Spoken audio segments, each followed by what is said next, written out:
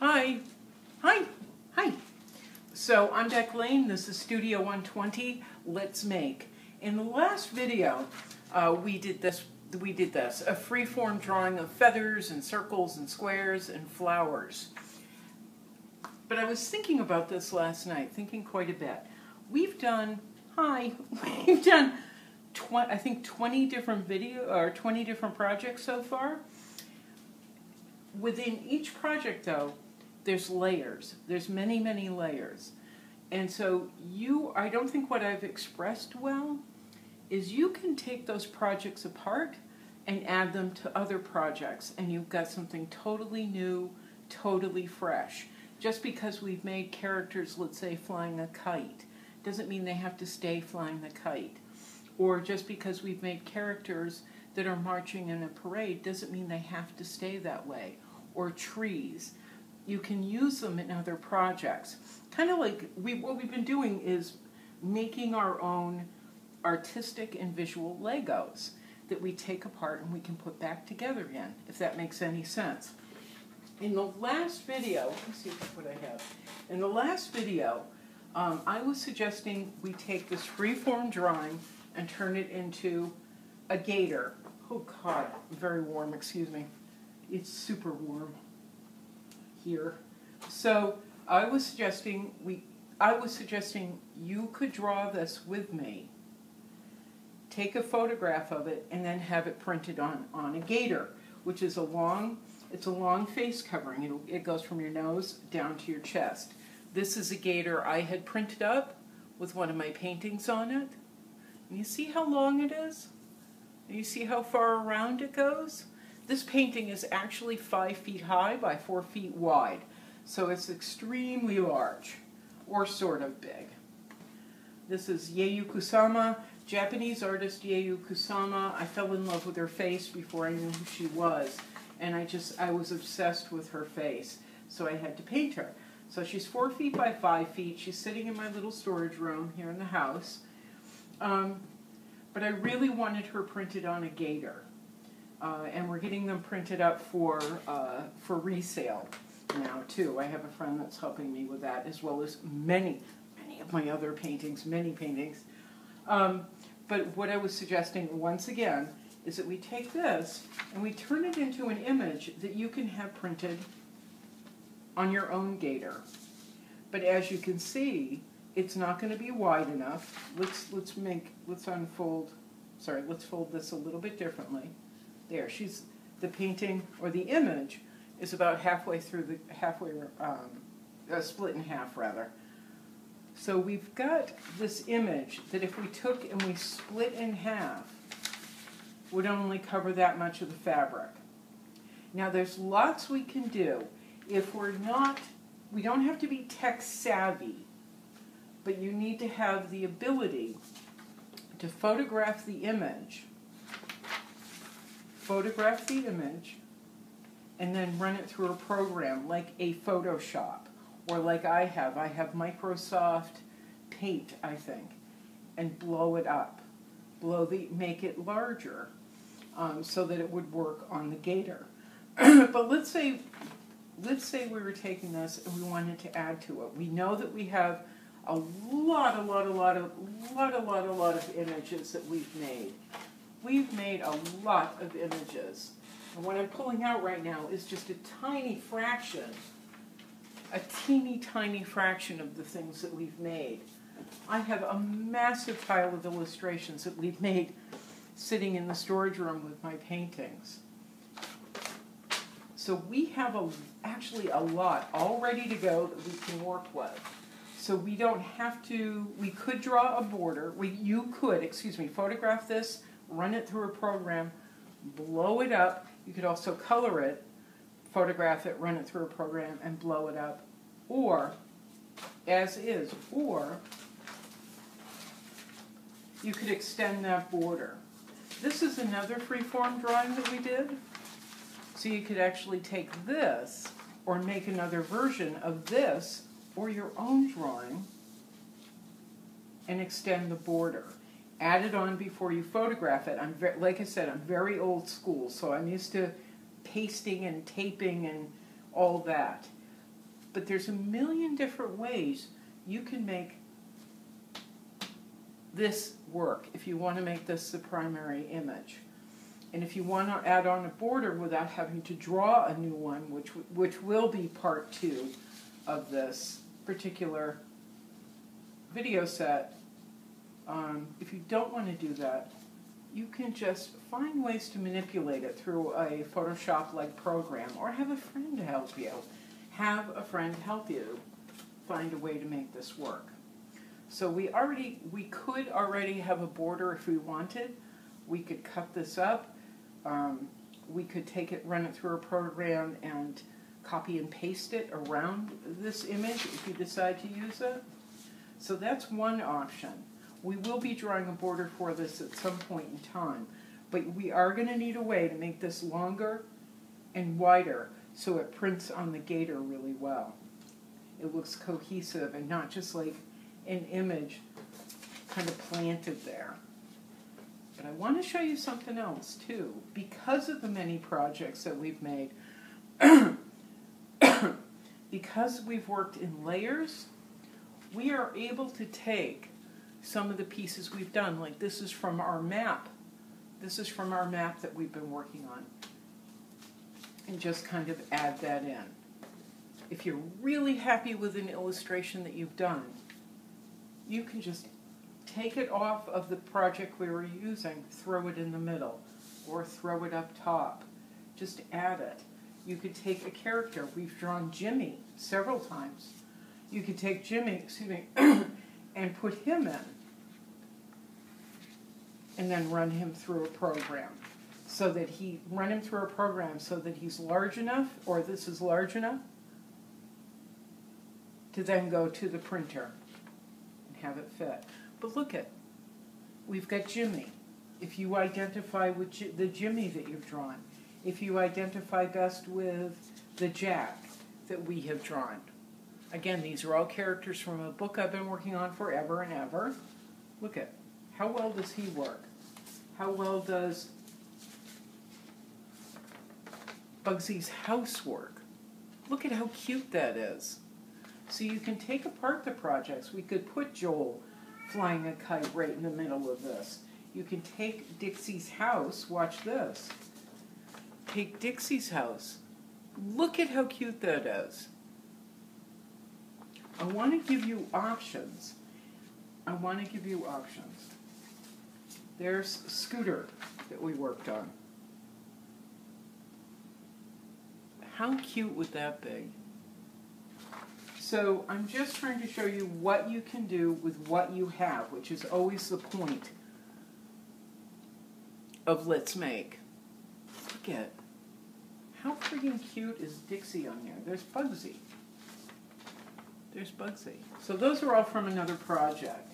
Those are all little things that you could use. Let me see if I have anything else. Oh, I've got Joel's house that we drew for the map project. Look at how well Joel's house fits in there. So take a look at what you've made, what you've created. See if you can get them to work together to build um, an elongated version of the gaiter. See if you can, you know, make it wider, longer, before you have to run it through, you know, a manipulation program like a Photoshop or a Paint.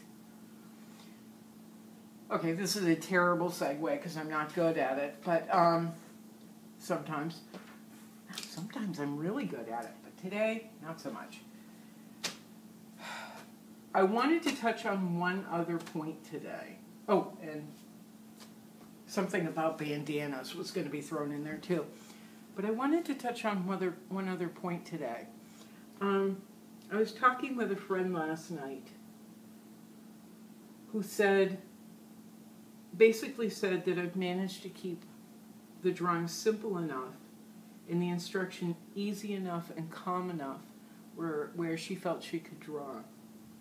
Um, but I, I think about all the people I've talked to in my life who find out I'm a painter and they say, I can't draw a straight line. Well, dude, neither can I. As we've seen, my lines come out all wonky and weird. But I think about all those people who think who have said to me, I can't draw, I can't draw, I can't paint. And I used to think that way because I've had people tell me I can't. Um, my seventh grade, my sixth or seventh grade art teacher told me I'd never be an artist. And that broke my heart for a long time. And it always stuck with me. Who was he to tell me he could I couldn't do something? It was none of his business. That was just his monsters coming out for a visit. I never should have listened to him, but nobody told me, nobody explained to me that maybe he's coming from a point of having a broken heart, having somebody tell him he can't do it. So, what I'm trying to say to you is if you're watching these videos, you can do this. It's basic shapes, basic lines. That's all it is. You don't have to draw a straight line. You can draw squiggly lines like we do all the time. Squiggly lines. I have a couple of rules in painting. Actually, I have three, but I can never remember the third one. but the first one is it doesn't matter. Art is an experiment. Every time you pick up a, a pen or a pencil, or sorry, better order, pen or pencil, or paintbrush and paint, it's an experiment.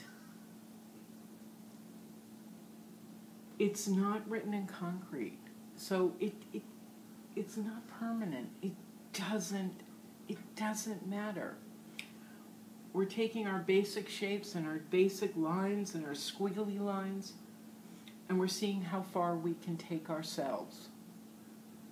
So, first rule is it doesn't matter because we're always going to be progressing. Rule number two it's always it's all fixable. Whether it's paint or it's pencil or it's pen, it is all fixable. That's what erasers and rags were made for. So please keep that in mind if you decide to pick up a pen and follow along. It doesn't matter. It's all fixable. And then rule number three, I can never remember to save my life. I want you to, there's a quote, I think it's Eleanor Roosevelt walk confidently in all directions. Walk confidently in all directions. Just pick up that pencil. Not like it's the enemy, but like it's an extension of you. Don't worry about the lines. It doesn't matter, it's all fixable. It's all fixable. Now, that art teacher who told me I'd never be an artist. He's gone, by the way. I think he had several heart attacks. But uh, he was one of the angriest, angriest people I've ever met. Angry to the core. Hated everyone, not in a fun way, like hated people. And when I saw his artwork after he passed away, I realized he wasn't very good. So his opinion of me, of my artwork, or what I do never should have mattered to me. He never pushed himself. He never got better. He never let go of what he thought he knew. He never experimented. He just did what he knew. And he got angry and frustrated and like I said, he was not very good. I would never tell him that because that would be hurtful. Well, I can't now because he's dead. But when people have, when people say to you, you can't do something, don't listen. Don't listen. They're coming from their own monsters, okay? I want you to keep that in mind. All of that in mind when we're sitting here drawing. If I had listened to him I never would have been able to paint a four foot by five foot painting of Yayoi Kusama that actually people really love and share online. And it's been seen around, literally around the world. If I had listened to him, I never would have left my hometown. I never would have had solo shows in New York. I never would have done this. I never would have had the courage. So tune that out. One thing I do when, when I'm drawing, well, when I'm painting, so that I don't think, I don't hear his words and I don't think you can't do this, is I distract my mind. This is like, okay, this is the last part of this chat. I distract my mind with a podcast, with an audio book, but I make sure I remove all my monsters from my head. I keep them distracted so that I can allow myself to just work, to pick up the pencil, pick up the pen, pick up the paintbrush, and just let the paint talk to me. Let the image that I'm producing talk to me. Let the reference guide me. So that's what I'm suggesting to you. If you are getting frustrated, first of all, get up, shake it off, jump up and down, shake your arms, shake your head, shake all that doubt and anger and fear out of your body. A couple of nice big deep breaths. Sit down, turn on the video again. Please listen to my nasal. I know it's nasal but hopefully calming tones. Just draw. Let it go. Okay? All right, I'll see you again soon. Ooh, I want to talk about uh, watercolors, which I'm terrible at. But I want to, no, I really am. But I want to talk about watercolors, and we're going to experiment a little bit with them in the next video, okay? All right, all my best. Oh, I forgot to mention, this mug I show in a lot of, I have in a lot of videos. It's always got tea in it. This is one of my favorite objects ever. I have a couple of mugs, but this one is by an artist named D.G. House. The letter D as in deer, G as in generous, house as in the thing we live in.